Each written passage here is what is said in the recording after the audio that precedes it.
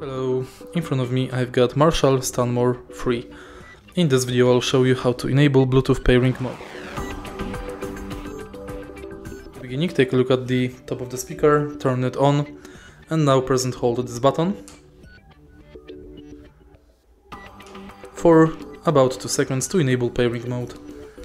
If you find this video helpful, please leave like, comment and subscribe.